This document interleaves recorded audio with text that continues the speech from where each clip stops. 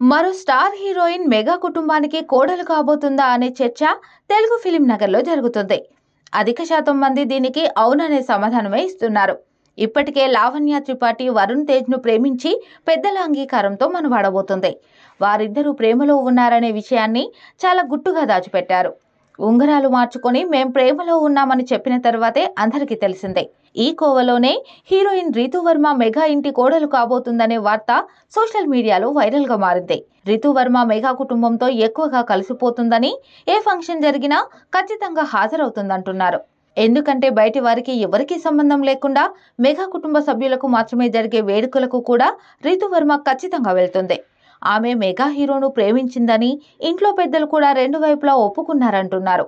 అయితే ఏ ఇంటికి కోడలుగా వెళ్ళబోతుందనేది మాత్రం సస్పెన్స్గా మారింది. సాయి ధర్మతేజ్ లేదంటే అల్లు శిరీష్. వీరిద్దరిలో ఒకరిని ప్రేమిస్తుందని సోషల్ మీడియాలో కొందరు కామెంట్లు పెడుతున్నారు.